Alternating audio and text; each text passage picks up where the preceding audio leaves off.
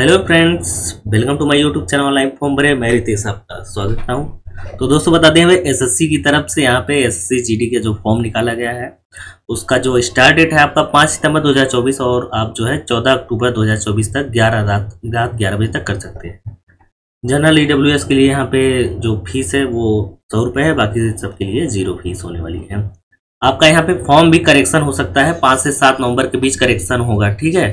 उसके बाद आपका जो फ़ीस है वो पंद्रह अक्टूबर तक कर सकते हैं। एलिजिबिलिटी आपका यहाँ पे ट्वेल्थ लेवल है। आपको यहाँ पे जानकारी होगी, इसका नोटिफिकेशन आप पढ़ लीजिए, कहाँ कहाँ कितनी हाइट है, ठीक है? तो दोस्तों, यहाँ पे सारी जानकारी सारी जानकारी यहाँ पे लेने वाले हैं। अप्लाई वाले बटन पे क्लिक करेंगे। और आप मेरे चैनल पर नए हो तो चैनल को सब्सक्राइब कर लीजिए। यहाँ पे सारी डिटेल्स हम बताने वाले हैं कास्ट सर्टिफिकेट कैसा होना चाहिए, कौन सी जगह क्या होना चाहिए, सब डिटेल्स बताने वाले हैं। तो सबसे पहले दोस्तों, अगर आप पुराना वेबसाइट है, आपका लगभग एक साल पहले का है तो आप उसको भूल जाइए। यहाँ पे आपका न्यू यहाँ पे वेबसाइट कर दिया गया है एस के द्वारा। तो यहाँ पे न्यू पे आपको रजिस्ट्रेशन करना है, अगर आप फ़र्स्ट कैंडिडेट तो यहाँ पे दोस्तों, यहाँ पे लॉग इन आर रजिस्टर, दो ऑप्शन मिलते हैं, ठीक है? अगर न्यू यूज़र है तो यहाँ रजिस्टर रजिस्टर वाले बटन पे क्लिक कीजिएगा। अब रजिस्टर वाले बटन पे क्लिक करने के बाद आपको थोड़ा सा वेट करना है, जब तक ये खुल नहीं जाता है। अब दोस्तों यहाँ पे देख सकते हैं यहाँ पे बहुत सी जानकारी दी गई है यहाँ पे पर्सनल डिटेल्स भरना है फिर पासवर्ड क्रिएशन करना है एडिशनल डिटेल्स यहाँ पे कौन सा एड्रेस है एजुकेट है कैंडिडेट डिटेल्स इन्फॉर्मेशन ये सारी जानकारी अगर आप न्यू कैंडिडेट है तो यहाँ पे कंटिन्यू पे क्लिक कीजिए ठीक है अब यहाँ पे डू हैव आधार कार्ड यहाँ पे आधार नंबर डालेंगे ठीक है अगर आपका आधार नंबर ऑलरेडी यहाँ पे दिखाता है जैसे मैं आपको यहाँ पे दिखा रहा हूँ ठीक है यहाँ पे मैं एक एग्ज़ाम्पल तौर दिखा रहा हूँ यहाँ पे देख सकते हैं, आधार नंबर ऑलरेडी एग्जिट मतलब इस नंबर इस आधार कार्ड से ऑलरेडी यहाँ पे अकाउंट बन चुका है। तो आप इस आधार से अकाउंट नहीं बना सकते हैं। आप फॉरगेट करने पे ऑप्शन पे जाइएगा। वहाँ पे पास का पासवर्ड और आपका जो है मेल आईडी पे आपका रजिस्ट्रेशन नंबर मिल जाएगा। अगर आप फॉरगेट करते हैं तो आपका यहाँ पे सिस्टम हो जाएगा। ठीक है? उसके बाद दोस्तों, यहाँ पे आपका नाम वगैरह रहेगा। ठीक है? यहाँ पे फिर आपको पूछता है कि जेंडर जेंडर मेल है फीमेल वगैरह, ये सब आपको पूछता है। यहाँ पे दो दो बार आपको वेरीफाई करना है। डेट ऑफ़ बर्थ यहाँ पे आपको भरने के लिए यहाँ पे एक कैलेंडर मिल जाता है। कैलेंडर क्लिक कीजिए यहाँ कैलेंडर खुल जाता है, ठीक है? कैलेंडर ये जो तीर का निशान है, इस पे क्लिक कीजिए यहाँ पे आपका वर्ष खुल जाएगा, यहाँ पे बैग जाना चाहते हैं, बैग पे जाइए। जो भी आपका डेट ऑफ़ बर्थ है तो यहाँ पे सेलेक्ट कर लेंगे, ठीक है? सेम आपको यहाँ पे भी वही सेलेक्ट कर लेना है। फादर का नाम मदर का नाम, बाकी ये सब डिटेल्स यहाँ पे हाईएस्ट क्वालिफिकेशन पूछता है तो अगर हाईएस्ट क्वालिफिकेशन आपका ट्वेल्थ है ग्रेजुएशन है पीजी है, या आपका हाई स्कूल है तो यहाँ पे आप हाईएस्ट क्वालिफिकेशन यहाँ पे चूज़ करें। जैसे कि यहाँ पे देख सकते हैं, बहुत सारा मिल जाता है। डिप्लोमा ग्रेजुएशन पीएचडी जो भी आपका हो, यहाँ पे आप सेलेक्ट कर लेंगे, ठीक है? उसके बाद दोस्तों यहाँ पे फिर वेरीफाई कर लेंगे। उसके बाद यहाँ पे कैंडिडेट मोबाइल नंबर और कैंडिडेट ईमेल आईडी यहाँ पे ये क्लिक करेंगे। आप डालेंगे उसके बाद ओटीपी आएगा ओटीपी डाल के वेरीफाई करेंगे ठीक है? फिर आप पासवर्ड क्रिएशन पे जा जाएँगे। पा, पासवर्ड कैसा बनाएँगे? जैसे मान लीजिए आपका नाम अमन है तो कैपिटल ए बाकी स्मॉल में M A N at the rate one two three ये आपने डेट ऑफ़ बर्थ यूज़ कर सकते हैं। आप ऐसे सिंपल सा पासवर्ड आप क्रिएट करेंगे ठीक है? जैसा कि मैं यहाँ पे ऑलरेडी मेरे कैंडिडेट का है तो मैं यहाँ पे रजिस्ट्रेशन पूरा नहीं करूँगा। एक लिंक दे दूँगा अपने वीडियो में। मैं वहाँ पे पूरा कैसे रजिस्टर करते हैं वो पूरी डिटेल्स बताया हूँ। आप उस पर जाकर देख लीजिएगा कि हाँ यहाँ पे कैसे जो है रजिस्ट्रेशन करते हैं। ठीक है? तो आपको पूरी जानकारी उस पर मिल जाएगी। तो मैं यहाँ पे लॉगिन वाले बटन पे जाता हूँ। लॉगिन वाले बटन पे जाता हूँ। ठीक है? अब उसके बाद यहाँ से थोड़ा सा इसको उड़ा देता हूँ। ठीक है? उसके बाद दोस्तों, अब क्या करना है आपको? अब आपको यहाँ पे अपना यूज़र आईडी और यहाँ पे पासवर्ड डाल के, यहाँ कैप्चा डाल के, अब आपको क्या करना है लॉगिन वाले बटन पे क्लिक कर लेना है, ठीक है? अब जैसे दोस्तों लॉगिन कर लॉगिन होने के बाद आपका यहाँ पे इंटरफेस आ जाएगा। यहाँ पे नीचे आएँगे लाइव एग्ज़ाम एग्जामिनेशन तो यहाँ पे आपका जीडी का लाइव है तो अप्लाई वाले बटन पे क्लिक कीजिएगा, ठीक है?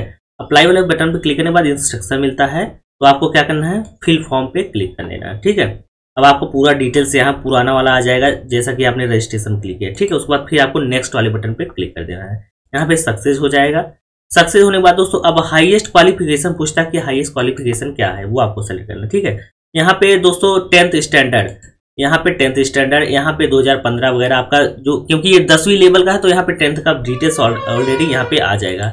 यहाँ पे दोस्तों, आपका कितना परसेंटेज है हाई स्कूल में, वो आपको यहाँ पे इंटर कर देना। जैसे मेरा चौहत्तर दशमलव छः चौहत्तर दशमलव छः यहाँ पे क्लिक करके उसको क्या, क्या करता हूँ? सेव एंड नेक्स्ट वाले बटन पे क्लिक करता हूँ ठीक है? यहाँ पे देख सकते हैं ओके हो गया है।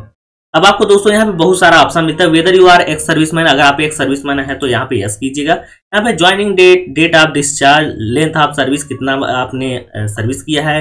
यह have you already join civil अगर आपने ज्वाइन किया है तो यहाँ पे सेलेक्ट करेंगे। नहीं तो आप सिंपली यहाँ पे अगर आप एज रिलेक्शन चाहते हैं तो आप यस कीजिएगा, ठीक है? नहीं तो आप सिंपली यहाँ पे नो कर दीजिएगा, ठीक है? उसके बाद दोस्तों यहाँ पे do have want to make a personal information available तो ये आपको यहाँ पे यस करके हमेशा ही चलना है। उसके बाद दोस्तों आपको सेव एंड नेक्स्ट वाले बटन पे यहाँ पे क्लिक कर देना है, ठीक है?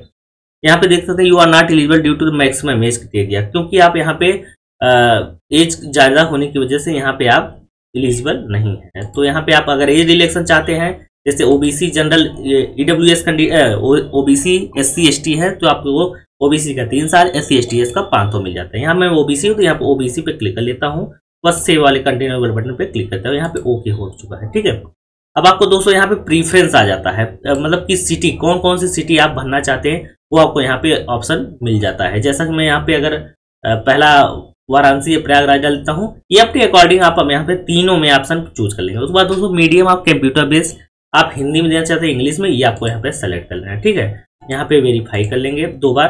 तो दोस्तों, अगर आप पास एनसीसी सर्टिफिकेट है तो यस कीजिएगा। नहीं है तो आप नो करेंगे जैसे आप मेरे पास बीस सी है तो यहाँ पे क्लिक करूँगा, नहीं तो आप सिंपली यहाँ पे छोड़ दूँगा, ठीक है? तो दोस्तों हैव पार्टिसिपेट एनी गेम अगर आप किसी गेम में पार्टिसिपेट किए हैं तो ठीक है, नहीं तो छोड़ दीजिए। यहाँ पे डोमिसाइल पूछता है कि आप किस राज्य के निवासी है। जैसे मैं उत्तर प्रदेश को तो यहाँ पे उत्तर प्रदेश पे क्लिक कर लेता हूँ, ठीक है? उसके बाद दोस्तों, फिर आपका डिस्ट्रिक्ट पूछता है, आप डिस्ट्रिक्ट कौन से डिस्ट्रिक्ट से बिलोंग करते हैं? ये आपको यहाँ पे सेलेक्ट कर रहा है, जैसे मैं जौनपुर से हूँ तो यहाँ पे जौनपुर सेलेक्ट कर लेता हूँ, ठीक है? अब उसके बाद दोस्तों हैव माइग्रेट ये सब आपको ऑलरेडी नो करके ही चलना है, ठीक है? उसके बाद दोस्तों, यहाँ पे पूछता है preference of post the app organisation यहाँ पे प्रीफरेंस देना है, ठीक है?